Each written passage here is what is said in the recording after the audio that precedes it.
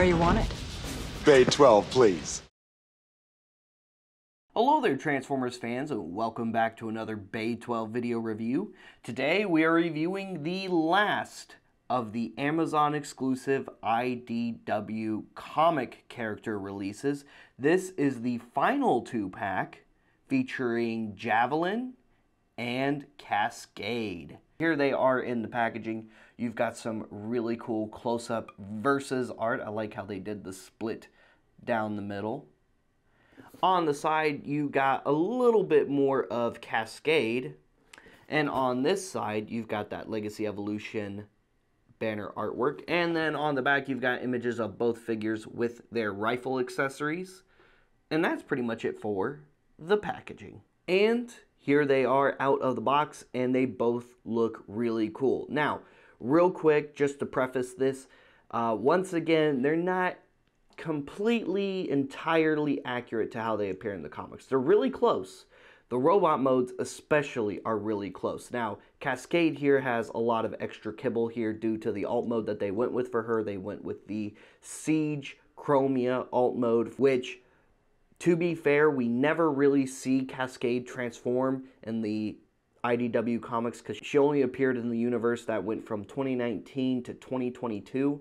So we didn't actually get to see her alt mode. So as far as we know, she's pretty fairly accurate, at least in robot mode, just kind of with the extra bits here. But Javelin here is also really close. Her robot mode is actually very accurate. Her alt mode has a little bit of inaccuracy to it, but I do think that going with the studio series Bumblebee movie RC mold for Javelin was a good choice and just having picked an existing mold to turn into Javelin which had such a unique character design that comic book universe is also to my knowledge her only character appearance so far I believe they chose the best design possible, honestly. And the inaccuracies are mostly in her alt mode, like I said, but it's really not that inaccurate. But we'll cover that when we get to alt mode. Anyway, we'll go ahead and start off with Kaskade here. She's looking pretty good. I really like that face sculpt a lot. Much like Shadow Striker, she's got that cyborg looking eye, which she had in the comics. She comes with a similar blaster pistol that the Chromia figure came with. You've even got the extended barrel piece, which we have as a scope here, because the Kaskade figure comes with this extra couple bits of extended barrel pieces, which you can use to make into a larger rifle for her. She also comes with the little grenade bits, which you can plug into the side or add to her weapon or put in her hands, whichever. She is fully articulated, head is on a ball joint fully articulated shoulders, upper bicep, single jointed elbows, wrists go in and out due to transformation. You have a little bit of waist mobility, but it is hindered by this crotch piece right here, which was very strange with this design because the whole waist articulates for transformation. So it's weird that they made it to where you can't articulate the waist section below this joint where it transforms very much. So, yeah, it, that's always been kind of a complaint about this mold I've had. Just it carried over to Kaskade, unfortunately. Fully articulated hips, upper thigh, single jointed knees, ankle joints, side ankle joints, and that's pretty much it for Kaskade's articulation. For comparison, here she is next to Siege Chromia, so you can see the two side by side and see how they compare.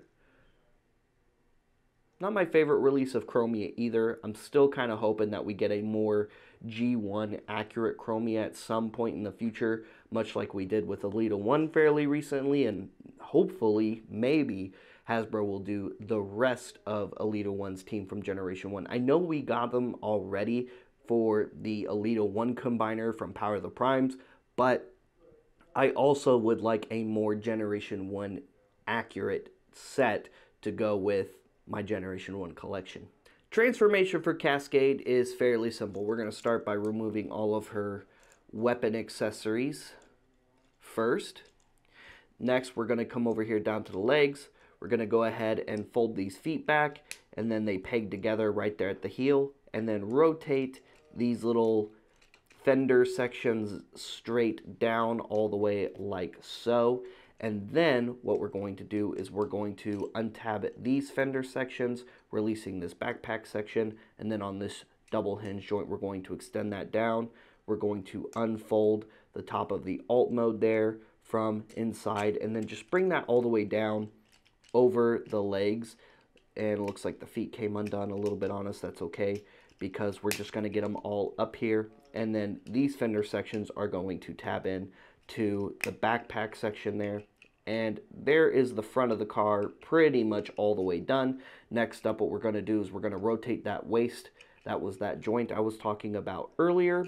And then we're going to grab the head. We're going to tilt it back. And then we're going to rotate this whole section. And the reason you want to tilt it back is because of this crest here on her forehead. It kind of pokes up a little bit too high. So if you don't tilt it back, you're not going to get enough clearance to fully rotate the head into the back cavity of the figure like so and then it'll click into place you'll have this peg up here which we will be able to put our weapon on next we're going to rotate these shoulders up a little bit and then rotate these legs all the way into place and then just fit the shoulders and fit the arms to finish the back of the car section fold the hands in and there she is in her little Cybertronian car mode, which once again we did not see in the comics. But here's probably the other reason why they chose the Siege Chromia mold for Kaskade, and that is because when the 2019 IDW universe started, it started in parallel with the Siege toy line. So, much like the Siege cartoon, the comic based a lot of its character designs on figures from the Siege toy line and a lot of other figures from other Transformers universes and series as well, which was actually really cool. So that's the other reason they most likely that in conjunction with the fact that once again we never saw her alt mode in the comic at least not to my knowledge that they likely chose that because based off of her silhouette in the comic, it's probably one of the closest and most logical conclusions you can draw of well, she probably turned into some kind of Cybertronian car, so just using the Siege Chromia mold made the most sense. And you can add her weapons to her alt mode, like I said, so we can tab her rifle here on the back. We'll go ahead and put that little scope bit back on the top because why not? And then we can take her little detonators here and we can just find different spots to plug them in, like up here, for example, if you like. Or they plug directly back here on the back of her alt mode. So she's all armed up and ready to drive into battle. And real quick for comparison, here she is next to Chromia in her alt mode, so you can see the two side by side in their Cybertronian vehicle modes. Next up, we have Javelin, one of the younger recruits of the Autobot Senate Guard. Her job was to work with the main Autobot security force under Ironhide she also, I believe, worked with Chromia in the comics and Strongarm and a few other awesome Autobot characters. There were a lot of really cool characters and a lot of really cool fembots in the 2019 IDW comics. And once again, this year has also been a fantastic year for Transformer Fembot characters because we've gotten so many awesome Fembot characters this year that have just never either gotten a toy release before or haven't gotten a toy release as good as they have this year. So Hasbro has really been on point with the Fembots. I hope the Lady Transformer fans are as excited as we are because it's so nice to finally have characters other than RC and Blackarachnia in our collections. She is also fully articulated, head is on a ball joint, fully articulated shoulders, upper bicep, double jointed elbows, mostly due to transformation, but hey, they're still there in and out on the wrist. Same wrist articulation as Kaskade, ironically enough. She actually does have waist articulation, hips, upper thigh, single jointed knee. You also have this forward and back ankle joint and this side to side ankle joint. She also comes with her signature rifle that she had the, in the comics, which also disassembles. You can take off the scope, you can take off this barrel extension piece, but this is the whole thing as appeared in the comics. Really, the only thing this is missing is the little kickstand for it that she used when she was in her sniping position. But other than that, this was very cool. And they absolutely nailed that face sculpt. It is so, so good. The face sculpts on both of these figures are absolutely perfect in my opinion. Very, very comic book accurate. And real quick for comparison, here is Javelin next to the Studio Series Bumblebee RC figure that she was remolded from. And you can see pretty much everything they remolded. Pretty much the upper torso section is the bulk of where the remolding went. Um, aside from the arms, from the waist up, she's a completely different figure. The chest is totally different. The wing sections are totally different. The backpack, the cockpit or driver's section of the alt mode is completely different. And then, of course, an entirely new head sculpt as well. But I'm so glad that we got another figure out of this mold because this is my number one favorite RC figure of all time. And just like with that RC figure, transformation is fairly simple and straightforward. What we're going to do is we're going to collapse these sections and make sure these legs are straightened out. Then we're going to rotate this ankle joint all the way to the side, push out on that wheel section, and then rotate all the way around, push that back in, and face that forward. And there's one of the wheels done. Do the same thing over here, rotate that around, collapse that in, bring that up.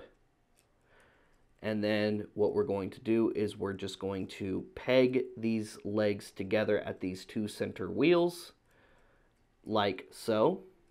Next, we're going to bring open these wing sections. We're going to pull on this whole backpack section, extending all of this.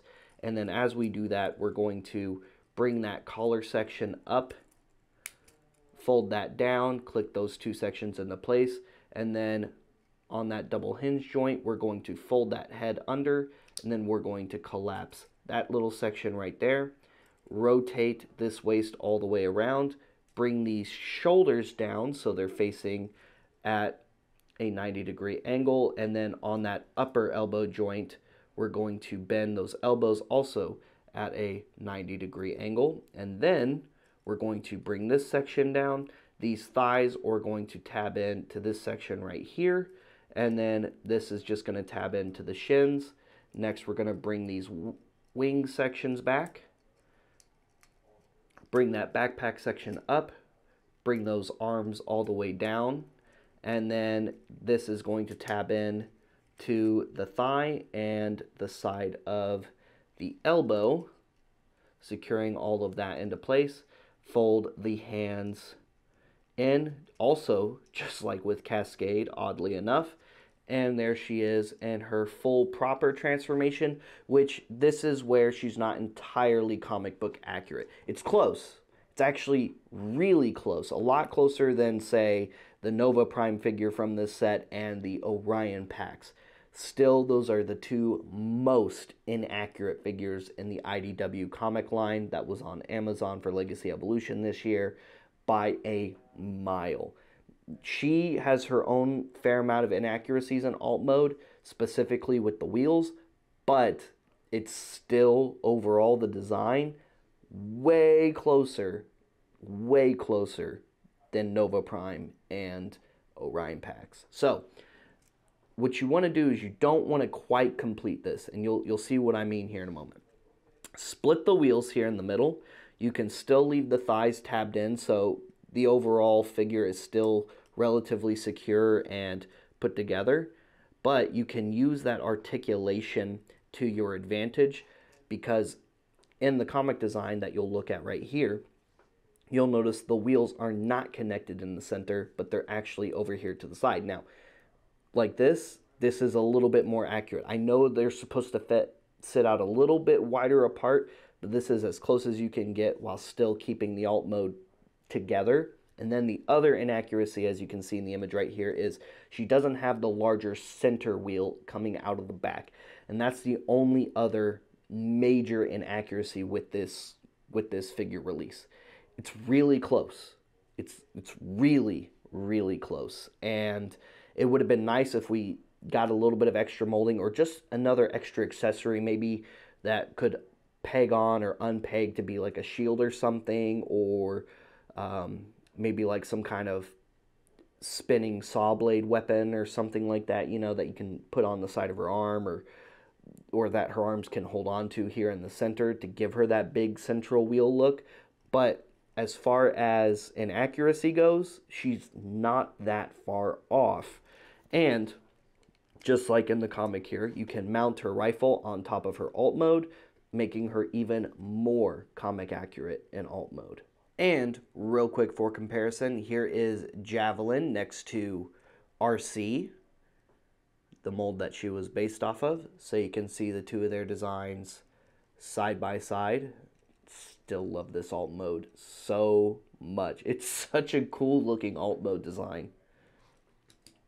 And here she is next to Kaskade. So you can see the two facing off against each other from their opposite teams in their alt modes as well. And the color schemes I think complement each other very well. Guys, thank you so much for tuning into today's review featuring the new Transformers Legacy Evolution Kaskade and Javelin 2-pack, the final pack out of the Amazon exclusive IDW comic character set of figures. And what do you think of these themed set of figures that Hasbro's been doing with these various store exclusives over the past few years? Do you like that they've been splitting off whole sets of groups of characters together and giving them to various stores? Or do you wish they were just filtered into the main line with everything else? Let us know in the comments and let us know what kind of group of characters or series you would like to see get an exclusive release like these in the future. Stay tuned for more Transformers reviews. Like and subscribe and follow us on social media. Check out our sister website, CoolToyReview.com, and like and subscribe to the Cool Toy Review YouTube channel. There's all kinds of awesome toy news, reviews, and more on Cool Toy Review.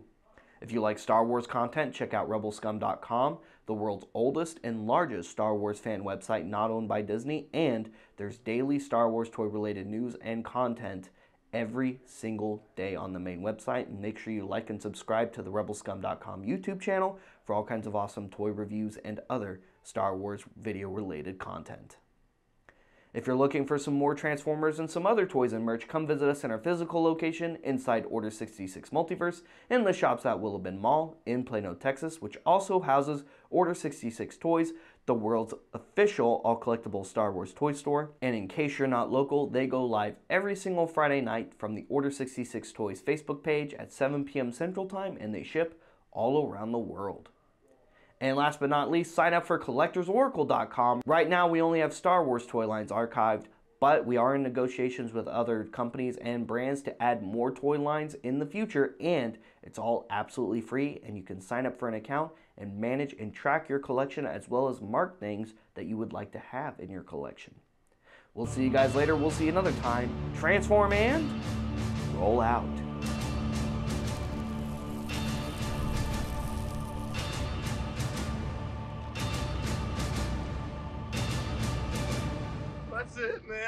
Game over, man. It's game over.